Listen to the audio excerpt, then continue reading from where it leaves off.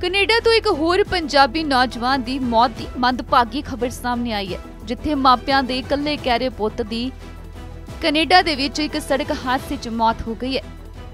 ਮਾਪਿਆਂ ਤੇ ਦੁੱਖਾਂ ਦਾ ਪਹਾੜ ਟੁੱਟ ਗਿਆ ਹੈ। ਦੱਸਿਆ ਜਾ ਰਿਹਾ ਹੈ ਕਿ 21 ਸਾਲਾਂ ਗੁਰਮਹਿਕਪ੍ਰੀਤ ਸਿੰਘ, ਜੋ ਕਿ ਕੈਨੇਡਾ ਦੇ ਓਨਟਾਰੀਓ ਦੇ ਵਿੱਚ ਰਹਿੰਦਾ ਸੀ ਤੇ ਇੱਥੇ ਹੀ ਮਸਕੋਟਾ ਸ਼ਹਿਰ ਦੇ ਵਿੱਚ ਉਸ ਦੀ ਇੱਕ ਕਾਰ ਹਾਦਸੇ 'ਚ ਦਰਦਨਾਕ ਮੌਤ ਹੋ ਗਈ। ਇਹ ਵੀ ਦੱਸਿਆ ਜਾ ਰਿਹਾ ਹੈ ਕਿ ਮਲੇਰਕੋਟਲਾ ਦੇ ਵਿੱਚ 6 ਹਫ਼ਤਿਆਂ ਦੇ ਵਿੱਚ ਵਿਦੇਸ਼ੀ ਧਰਤੀ ਤੇ ਇਹ ਚੌਥੇ ਨੌਜਵਾਨ ਦੀ ਮੌਤ ਹੋਈ ਹੈ। ਦੱਸਦੇ ਕਿ ਗੁਰਮਹਿਕਪ੍ਰੀਤ ਸਿੰਘ ਨੇ 2 ਸਾਲਾਂ ਦੇ ਵਿੱਚ ਆਪਣੀ ਪੜ੍ਹਾਈ ਮੁਕੰਮਲ ਕਰਕੇ ਵਰਕ ਪਰਮਿਟ ਵੀ ਹਾਸਲ ਕਰ ਲਿਆ ਸੀ ਤੇ ਹੁਣ ਉੱਥੇ ਉਹ ਇਲੈਕਟ੍ਰੀਕਲ ਇੰਜੀਨੀਅਰ ਦੇ ਵਜੋਂ ਕੰਮ ਵੀ ਕਰ ਰਿਹਾ ਸੀ। ਇਸੇ ਵਿਚਾਲੇ ਹੀ ਗੁਰਮਹਿਕਪ੍ਰੀਤ ਸਿੰਘ ਦੀ ਇੱਕ ਕਾਰ ਹਾਦਸੇ ਦੇ ਵਿੱਚ ਦਰਦਨਾਕ ਮੌਤ ਹੋ ਗਈ ਹੈ, ਜਿਸ ਤੋਂ ਬਾਅਦ ਮਾਪਿਆਂ ਤੱਕ ਜਦੋਂ ਇਹ ਮੰਦਭਾਗੀ ਖਬਰ ਪਹੁੰਚੀ ਤਾਂ ਉਹ ਵੀ ਸਦਮੇ ਦੇ ਵਿੱਚ ਨੇ।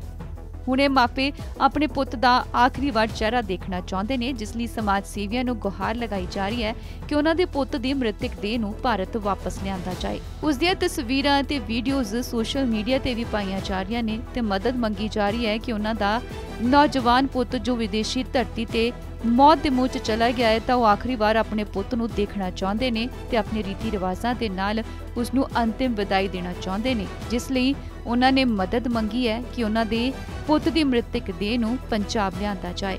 ਇੱਥੇ ਵੀ ਦੱਸਿਆ ਜਾ ਰਿਹਾ ਹੈ ਕਿ ਮਲੇਰਕੋਟਲਾ ਦੇ ਵਿੱਚ ਪਿਛਲੇ 6 ਹਫ਼ਤਿਆਂ ਦੇ ਅੰਦਰ ਇਹ ਚੌਥੇ ਨੌਜਵਾਨ ਦੀ ਮੌਤ ਹੋਈ ਹੈ। ਕਈ ਨੌਜਵਾਨਾਂ ਦੀ ਭੇਤ ਭਰੇ ਹਾਲਾਤਾਂ 'ਚ ਮੌਤ ਹੋਈ ਹੈ ਤੇ ਕਈਆਂ ਨੂੰ ਦਿਲ ਦਾ ਦੌਰਾ ਪਿਆ ਤੇ ਹੁਣ ਇਸ ਨੌਜਵਾਨ ਦੀ ਸੜਕ ਹਾਦਸੇ 'ਚ ਜਾਨ ਚਲੀ ਗਈ ਹੈ। ਮਾਪਿਆਂ ਤੋਂ ਇਹ ਦੁੱਖ ਸਹਾਰ ਨਹੀਂ ਹੋ ਰਿਹਾ।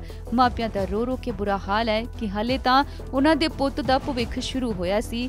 ਵਧੀਆ ਬੰਨਾ ਸੀ ਕਿਉਂਕਿ ਉਸਨੇ ਪੜ੍ਹਾਈ ਪੂਰੀ ਕਰ ਲਈ ਸੀ ਵਰਕ ਪਰਮਿਟ ਮਿਲ ਚੁੱਕਿਆ ਸੀ, ਪਰ ਹੁਣ ਜਦੋਂ ਉਸਦੇ ਕੰਮ ਕਰਨ ਦੀ ਵਾਰੀ ਆਈ, ਉਸਦੀ ਜ਼ਿੰਦਗੀ ਚੰਗੀ ਹੋਣੀ ਸੀ ਤਾਂ ਉਹ ਮੌਤ ਦੇ ਮੂੰਹ 'ਚ ਚਲਿਆ ਗਿਆ ਹੈ। ਪਰਿਵਾਰ ਨੇ ਅਪੀਲ ਕੀਤੀ ਹੈ ਕਿ ਉਹਨਾਂ ਦੀ ਮਦਦ ਕੀਤੀ ਜਾਏ ਤੇ ਉਹਨਾਂ ਦੇ ਪੁੱਤ ਦੀ ਮ੍ਰਿਤਕ ਦੇਹ ਨੂੰ ਪੰਜਾਬ ਉਹਨਾਂ ਦੇ ਘਰ ਲਿਆਂਦਾ ਜਾਏ। ਕੈਨੇਡਾ ਤੋਂ ਇੱਕ ਹੋਰ ਪੰਜਾਬੀ ਨੌਜਵਾਨ ਦੀ ਮੌਤ ਦੀ ਮੰਦਭਾਗੀ ਖਬਰ ਸਾਹਮਣੇ ਆਈ ਹੈ, ਜਿੱਥੇ ਮਾਪਿਆਂ ਦੇ ਇਕੱਲੇ ਕਹਿਰੇ ਪੁੱਤ ਦੀ ਕੈਨੇਡਾ ਦੇ ਵਿੱਚ ਇੱਕ ਸੜਕ ਹਾਦਸੇ 'ਚ ਮੌਤ ਹੋ ਗਈ ਹੈ। ਮਾਪਿਆਂ ਤੇ ਦੁੱਖਾਂ ਦਾ ਪਹਾੜ ਟੁੱਟ ਗਿਆ ਹੈ। ਦੱਸਿਆ ਜਾ ਰਿਹਾ ਹੈ ਕਿ 21 ਸਾਲਾਂ ਗੁਰਮਹਿਕਪ੍ਰੀਤ ਸਿੰਘ, ਜੋ ਕਿ ਕੈਨੇਡਾ ਦੇ ਓਨਟਾਰੀਓ ਦੇ ਵਿੱਚ ਰਹਿੰਦਾ ਸੀ ਤੇ ਇੱਥੇ ਹੀ ਮਸਕੋਟਾ ਸ਼ਹਿਰ ਦੇ ਵਿੱਚ ਉਸ ਦੀ ਇੱਕ ਕਾਰ ਹਾਦਸੇ 'ਚ ਦਰਦਨਾਕ ਮੌਤ ਹੋ ਗਈ। ਇਹ ਵੀ ਦੱਸਿਆ ਜਾ ਰਿਹਾ ਹੈ ਕਿ ਮਲੇਰਕੋਟਲਾ ਦੇ ਵਿੱਚ 6 ਹਫ਼ਤਿਆਂ ਦੇ ਵਿੱਚ ਵਿਦੇਸ਼ੀ ਧਰਤੀ ਤੇ ਇਹ ਚੌਥੇ ਨੌਜਵਾਨ ਦੀ ਮੌਤ ਹੋਈ ਹੈ।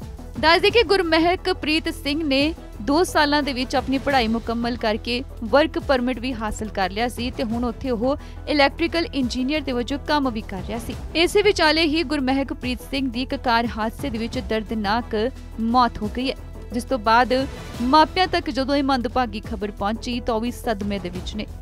ਹੁਣ ਮਾਪੇ ਆਪਣੇ ਪੁੱਤ ਦਾ ਆਖਰੀ ਵਾਰ ਚਿਹਰਾ ਦੇਖਣਾ ਚਾਹੁੰਦੇ ਨੇ, ਜਿਸ ਲਈ ਸਮਾਜ ਸੇਵੀਆਂ ਨੂੰ ਗੁਹਾਰ ਲਗਾਈ ਜਾ ਰਹੀ ਹੈ ਕਿ ਉਹਨਾਂ ਦੇ ਪੁੱਤ ਦੀ ਮ੍ਰਿਤਕ ਦੇਹ ਨੂੰ ਭਾਰਤ ਵਾਪਸ ਲਿਆਂਦਾ ਜਾਏ। ਉਸ ਦੀਆਂ ਤਸਵੀਰਾਂ ਤੇ ਵੀਡੀਓਜ਼ ਸੋਸ਼ਲ ਮੀਡੀਆ ਤੇ ਵੀ ਪਾਈਆਂ ਜਾ ਰਹੀਆਂ ਨੇ ਤੇ ਮਦਦ ਮੰਗੀ ਜਾ ਰਹੀ ਹੈ ਕਿ ਉਹਨਾਂ ਦਾ ਨੌਜਵਾਨ ਪੁੱਤ ਜੋ ਵਿਦੇਸ਼ੀ ਧਰਤੀ ਤੇ ਮੌਤ ਦੇ ਮੂੰਹ 'ਚ ਚਲਾ ਗਿਆ ਹੈ ਤਾਂ ਉਹ ਆਖਰੀ ਵਾਰ ਆਪਣੇ ਪੁੱਤ ਨੂੰ ਦੇਖਣਾ ਚਾਹੁੰਦੇ ਨੇ ਤੇ ਆਪਣੇ ਰੀਤੀ ਰਿਵਾਜ਼ਾਂ ਦੇ ਨਾਲ ਉਸ ਨੂੰ ਅੰਤਿਮ ਵਿਦਾਈ ਦੇਣਾ ਚਾਹੁੰਦੇ ਨੇ, ਜਿਸ ਲਈ ਉਹਨਾਂ ਨੇ ਮਦਦ ਮੰਗੀ ਹੈ ਕਿ ਉਹਨਾਂ ਦੇ ਪੁੱਤ ਦੀ ਮ੍ਰਿਤਕ ਦੇਹ ਨੂੰ ਪੰਜਾਬ ਲਿਆਂਦਾ ਜਾਏ।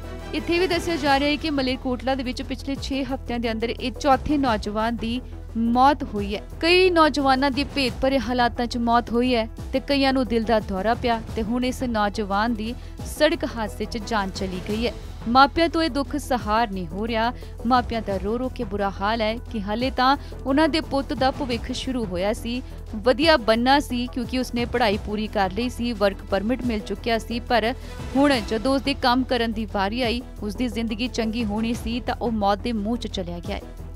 ਪਰਿਵਾਰ ਨੇ ਅਪੀਲ ਕੀਤੀ ਹੈ ਕਿ ਉਹਨਾਂ ਦੀ ਮਦਦ ਕੀਤੀ ਜਾਏ ਤੇ ਉਹਨਾਂ ਦੇ ਪੁੱਤ ਦੀ ਮ੍ਰਿਤਕ ਦੇਹ ਨੂੰ ਪੰਜਾਬ ਉਹਨਾਂ ਦੇ ਘਰ ਲਿਆਂਦਾ ਜਾਏ।